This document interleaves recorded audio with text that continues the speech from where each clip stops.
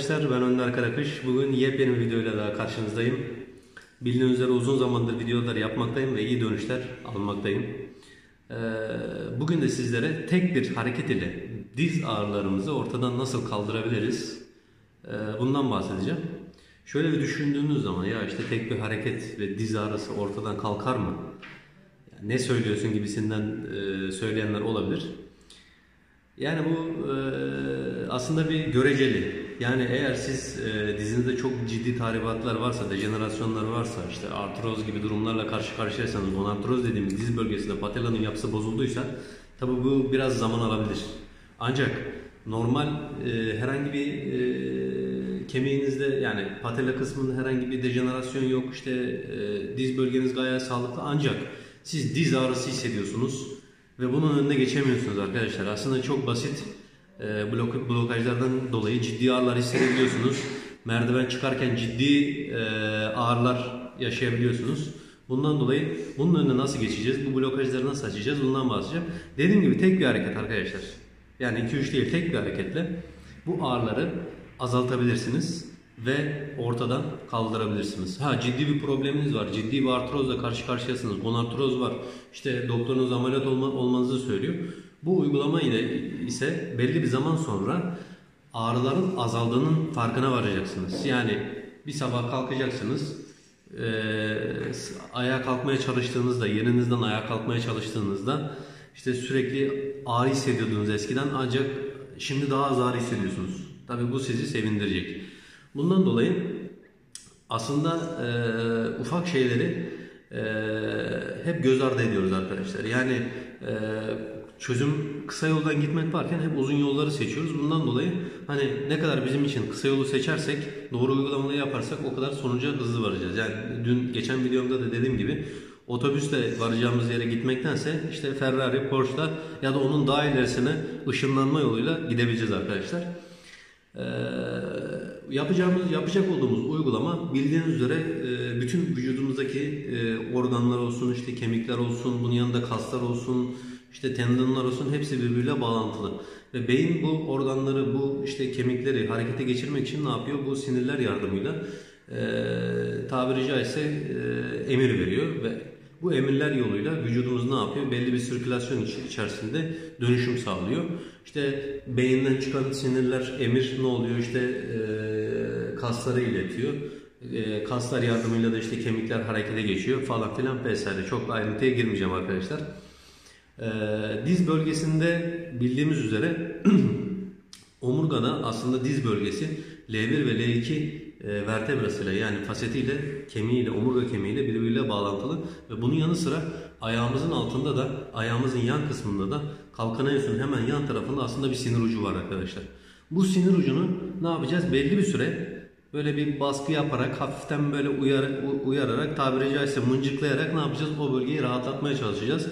Ve eğer dediğim gibi çok ciddi tahribatlarınız yoksa dizinizde, dizinize iyi baktıysanız ve ama yine de ağrı hissediyorsanız, işte merdiven çıkarken ağrı hissediyorsunuz, merdiven inerken yine ağrı hissediyorsunuz, spora gittiniz yine ağrı hissediyorsunuz ve doktora gidiyorsunuz, doktor bir şey yok diyor. Yani gerekli tetkikleri yapıyorsunuz, ne dejenerasyon var ne başka bir şey var ancak siz ağrı hissediyorsunuz. Neden bu?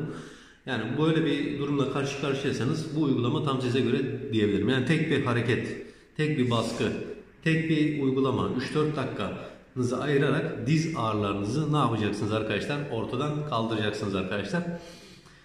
Yine çok fazla konuştum herhalde. Lafı da çok fazla uzatmak istemiyorum. Çünkü çok fazla konuştuğum zaman takipçiler bu sefer ya çok fazla konuşuyorsun, laf kalabalığı yapıyorsun, aynı kelimeleri kullanıyorsun gibi söylemlerde bulunuyorlar.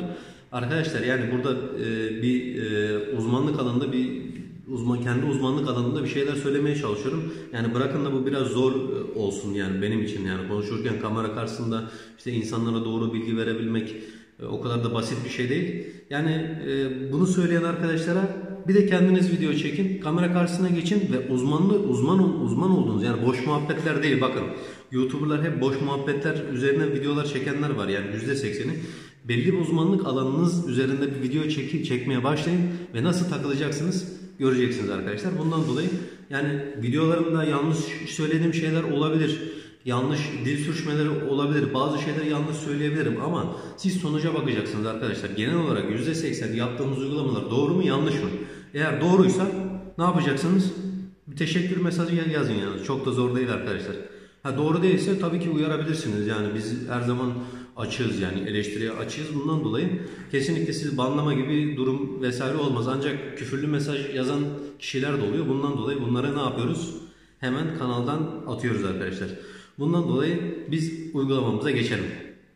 Geçelim mi? Geçelim. Evet arkadaşlar gördüğünüz gibi e, şu anda uygulamamızı ayağımızın dış tarafından yapacağız ve uygulamayı baş parmağımızla yapmamız gerekiyor. E, aslında çok fazla ayrıntıya girmeden yalan bir şekilde sizlere anlatmaya çalışacağım. Dediğim gibi tek bir noktayla 3-4 dakika baskı yaparak diz ağrısını ortadan kaldırabilirsiniz. Oldukça basit. E, uygulamamız diz dizimizle kontak kuran sinirin olduğu bölge, sinir ucunun olduğu bölge kalkane, kalkaneus kemiği dediğimiz topuk kemiğinin hemen bitim noktası. Yani gördüğünüz şu bölge arkadaşlar. Yuvarlak çizecek olursam gördüğünüz gibi zaten beyaz oluyor parmağımla. Ardından şu e, dış maleolun hemen arkasından geleceğiz. Masaj yaparak e, yani masaj yaparak değil de o bölgeye işte hafiften böyle uygulamaları yaparak ne yapacağız? Aşağı doğru geleceğiz. Ve burayı da tabiri caizse biraz mıncıklayacağız. Yani yuvarlaklar çizeceğiz hafiften baskı uygulayacağız ve bunu 3-4 e, dakika boyunca yapacağız. Ve bunu her gün ağrımız geçene kadar tekrarlamamız gerekiyor arkadaşlar.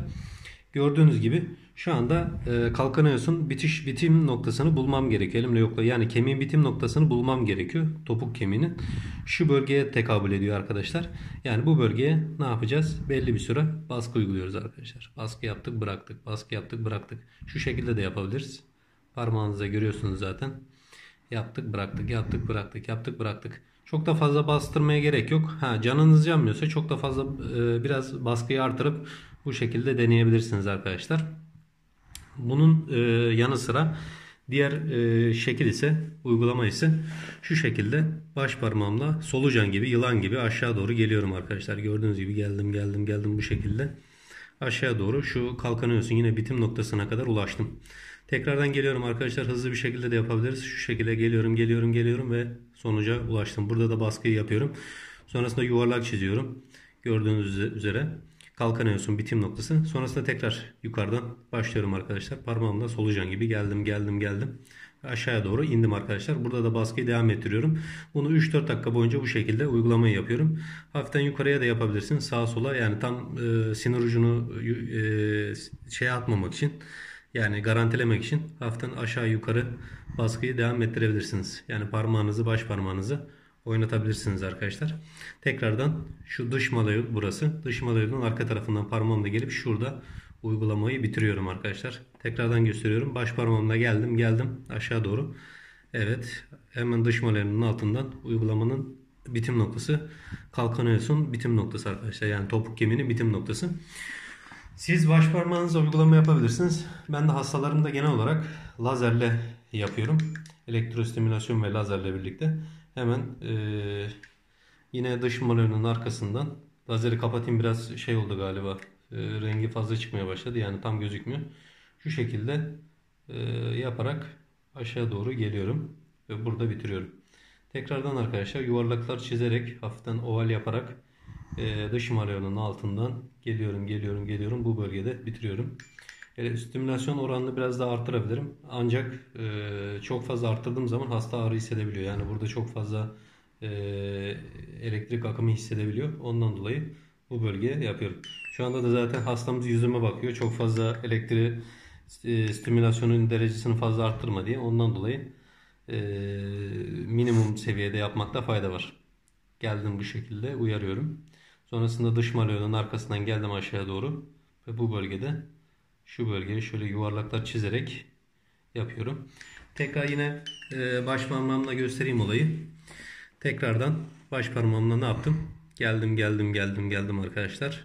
Dış malyonun altından o şekilde kalkanıyorsun bitim noktasına kadar geldim. Tekrardan solucan gibi, yılan gibi geliyorum, geliyorum, geliyorum, geliyorum ve kalkanıyorsun bitiş noktasını uyardım arkadaşlar. Tekrardan geliyorum. Baş parmağımla geldim geldim geldim ve uyardım arkadaşlar. Yine aynı şekilde aparatımla e, cihazımla ne yapıyorum? Yuvarlaklar çizerek kalkanıyorsun arka tarafından geldim. Geldim Bu şekilde ve e, pardon dış manuelin arka tarafından geldim ve kalkan ön bitim noktasında uygulamamı bitiriyorum arkadaşlar.